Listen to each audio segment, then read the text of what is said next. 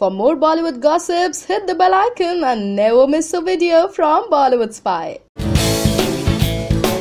Golmaal again इस साल की बहुप्रतीक्षित फ़िल्मों में से एक थी और अब उस प्रतीक्षा का परिणाम इसके कलेक्शंस में भी दिख रहा है। जी हाँ अपने पहले ही दिन 30 करोड़ से भी ज़्यादा का कलेक्शंस कर गोलमाल अगेन ने रचा है इतिहास। और अब दूसरे दिन यानी शनिवार को इस फ़िल्म ने की लगभग 28 करोड़ की कमाई। भाई इसे कहते हैं दिवाली धमाका। वेल well, इस फ़िल्म की टैगलाइन सच में रंग लाती दिखाई दे रही है।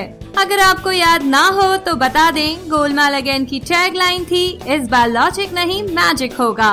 और अब ये मैजिक इस कदर लोगों के सर चढ़कर बोल रहा है कि सुबह से लेकर रात तक इस फ़िल्म के सभी शोज़ इस दिन खचा खच भरे हैं। बता दें, रोहित शेट्टी के निर्देशन में बनी ये फ़िल्म कॉमेडी सीरीज़ गोलमाल की फोर्थ इंस्टॉलमेंट है।